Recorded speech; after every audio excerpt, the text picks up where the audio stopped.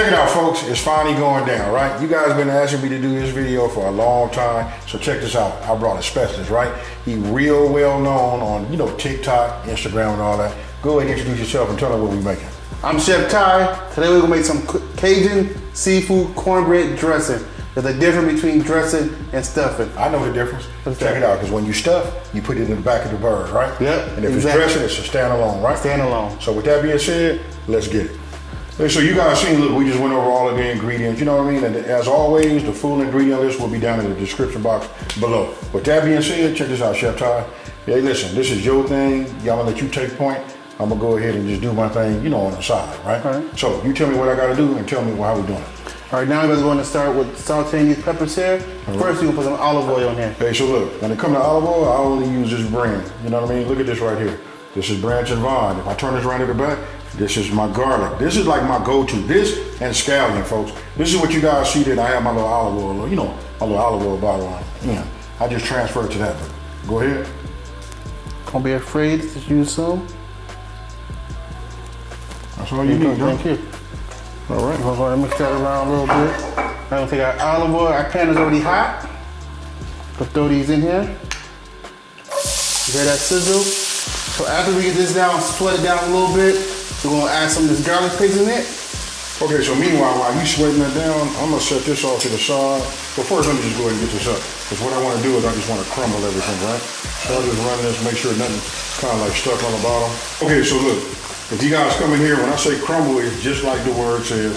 I'm just gonna get in here and just mix this up, all right? And now we're gonna follow behind that with this here. If you don't want to use the box ones, you can always make some homemade breadcrumbs. Oh, that's my thing too. It won't be the Chef Ty way if you didn't put nothing to seasoning in it. I put down everything, you hear? Everything. and we would have to go ahead and dump this inside this bowl here. Okay? All right, now we're gonna prepare our shrimp. We're gonna take it here, you call it shrimp or scrimps. Oh. We're gonna take some of the seasoning right here. Don't be afraid, I'm gonna eat the big side here. We put this on everything. So look, this is what you're gonna do. You're finna season. Finna season the scrimps. there you go. All right, do your thing. Hey, look, meanwhile, while you're doing that, I'm just gonna go ahead and start mixing the rest of this up in here too, right? But I'm gonna leave the oysters and I'm gonna leave the, cause you're getting ready to take the, the Crawfish. the crawfish. So I'll put that over there by you. I'll keep the Crab and the crab and the clams, right? All of this is going in the inside. Yes. Gotcha. I'm gonna take our shrimp, we're gonna let it sit here for a second. Then we'll add some of this secret Chef Ty butter, homemade butter here. Take a few scoops of this. Now let me ask you this: since we're using this lump crab meat, how, how serious are you about the size of your meat? So with the crab meat, we're just gonna fold it in there. We don't wanna break the crab meat up. We wanna fold it into the big thing, just like you make crab cakes. Gotcha. Hey, I just said something about the meat. I'm gonna go ahead and just say pause. All right. Now that right Throw it in there there? is fire. Everything get flavor to it. Everything. Everybody you wanna eat, you wanna make sure you got the flavor touching your palate. Now I'm getting ready to come with my clam, juice and all, correct? Now once you got that in there, we're gonna let these shrimps cook for a few seconds. We're not gonna cook all the way through, because we don't, we're gonna add it to here, we're gonna throw it in the oven. So we don't wanna dry up our shrimp.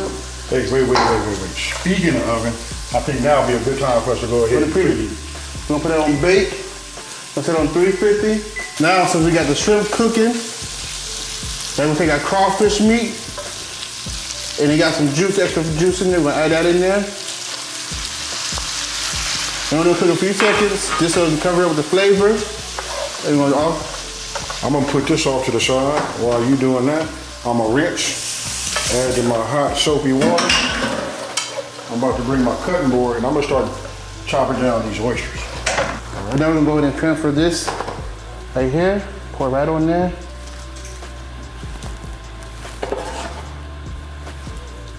Got that in there, I see that. I'm gonna be honest with you, man. I just not an oyster guy. You know what I'm saying? I'm old school.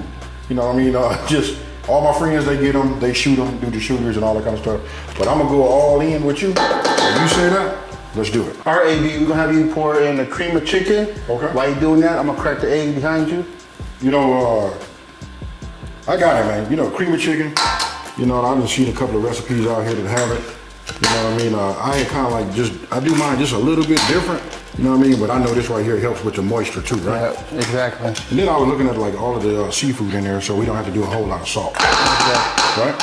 And then I'm going to take the the the clam clam juice, like add the clam juice in there, just a little bit, not all of it. Just a little bit. Just You a tell me little when. bit. All right. Ready? Yep. Then I'm gonna take some of that chicken stock. Chicken stock. Yep. This right here, we're gonna get some of that flavor. You know what I mean? So Chicken. we gonna get a little salt from this too, though. Yeah, we'll get a little salt from that. Like I said, we're not gonna use a lot of salt in here because the salt will come from the sea, the seafood, the cream of chicken, and the chicken stock. Now look, I want you to know this. Look, I had to open this up without shaking this up. Just so you guys know out there, listen, if you don't shake this, listen, it kind of like separates. You know what I mean? So you'll get a little bit of the, I guess, more flavor down here on the bottom. So it's always best to shake well. And then apply. Then pour it in there. Are we putting no, we're not putting the whole No, that whole thing in there. Just about half of it. I got you. And now we're gonna go ahead and add our gumbo filé Now this right here is a new one on me. We finna use filé, right? filé in there. So Okay. gumbo filé. we're This stuff right here go a long ways, bro. So I want you to really take keep your eye on this one right here. That's good right there. Okay. And then we'll take our sage. All right. Yeah, when you say dressing, come on, you know we gotta have, You gotta have the sage. gotta have the sage. Ain't dressing if you don't have the sage in it. Now I'm gonna ask you guys out there down. I want you to do something down in the comment section below. Tell me how many of y'all don't like the sage. You know, there's a lot of people that don't like sage dressing. Why is that? I don't know. Yeah, I, don't, I don't know either, I, I don't know, but we'll wait and find out. And then now we're gonna add some some basil, bay leaf in here. You're gonna take a few leaves, Now look, this is dry bay, uh, dry, bay leaf, right? dry bay leaves. Look at what you're gonna do with this. We're gonna do all we're gonna do is crunch it up. That's a new one on me, but I got it. It's, it's the exact same. I just never have seen nobody. And then now I'm gonna top it off with some of that Chef Ty seasoning. I put that on everything. Like you said, like I said earlier, you put it on Is everything. that like E R R R? It's, R, it's R? E R R R R R. Everything. I'm gonna put that on top of there. Sprinkle it on there. There's a little love in there. And now we're gonna go ahead and mix this up with our hands. We're gonna caress it, get it nice and combine it really well. Now let me ask you this: There's no different than okay. So I know that you don't, you didn't scramble your egg or nothing like that. No. You just going. I don't either, but I just want. I'm saying that for the people out here. You know what I mean? Because some people ask me. I'm like, nah, it doesn't make a difference when you No. scramble it, put it in here like that. But that right there is fire. Now listen, I use a non-stick spray. You guys, you guys can use that. You can use butter. Just use some uh, refrigerated butter. Just run it along the sides. Put it on a napkin. However you want to do it. But this today is my tool of choice. All right. Now you want to look just like this right here. Nice and not too dry. You want it nice and moist. You see that? You can even see the moisture in there. Because when it cooks, some of it's gonna evaporate. So you want to evaporate. So you want to keep as much moisture in this corn um, cornbread dressing.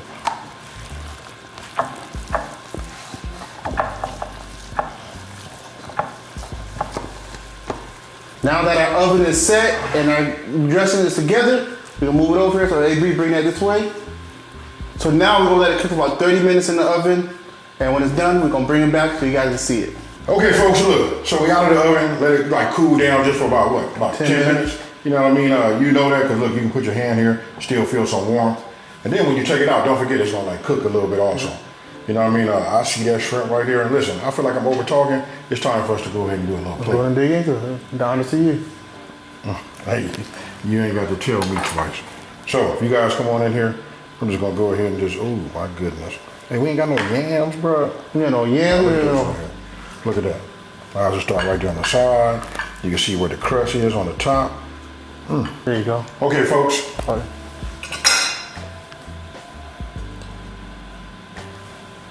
Cheers, bro. Cheers.